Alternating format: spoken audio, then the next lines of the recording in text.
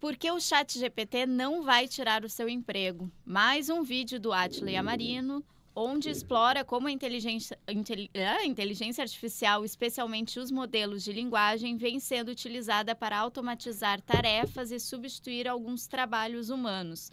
No entanto, embora eficiente em alguns casos, a IA ainda não ainda apresenta limitações consideráveis como a falta de precisão e o risco de gerar informações incorretas, exigindo supervisão constante de profissionais.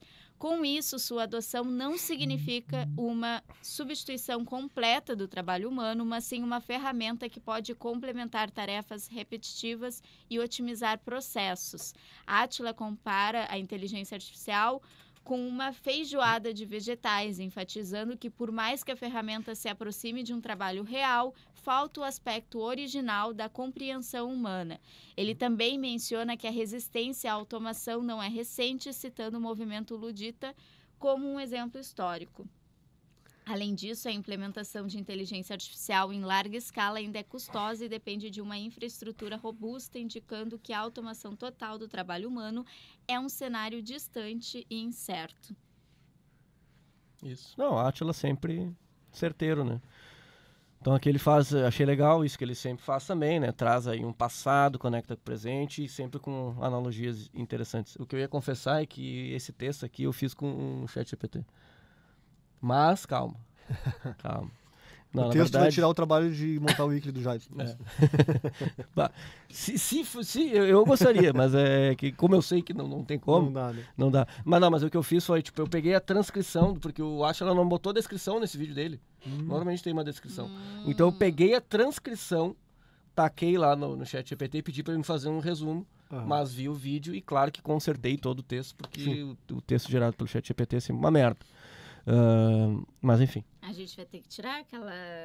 É, eu até ia botar um, um disclaimer, né? Tem que botar um disclaimer ali. Que fala que é. Bota um asterisco. É. Eu ia botar humanos. aqui um asterisco que. que ah, mas 95% tipo... do texto dessa vida é, é. ser humano. mas foi só esse texto aqui e de qualquer maneira eu tive que refazer todo ele, né? Mas. Não, em breve a gente. Lembra quando tinha alguns filmes que aparecia no final assim, ó, nenhum animal foi ferido na gravação.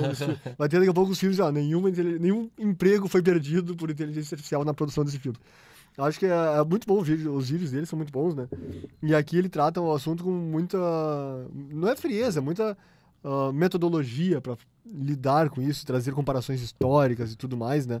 Então realmente é um vídeo que vale muito a pena assistir, como os outros dele. E essa analogia faz muito sentido, inclusive isso eu acho interessante, né? Da feijoada, né?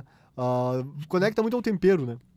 Pedir para que alguém faça o tempero. Tem um episódio do Futurama, que é muito bom, que o robô decide que ele quer ser cozinheiro.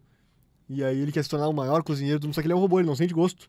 Então as receitas dele são matemáticas, assim, tipo, ah, vai uma pitada disso, uma pitada daquilo, porque ele, né, usa uma matemática para descobrir as receitas. Então, aqui parece um pouco disso, tu não tem um tempero, né, na hora de fazer as coisas. Isso vai para arte, isso vai para código, isso vai para tudo, tudo, muita é. coisa, né? Então, Exatamente. é interessante esses argumentos, assim.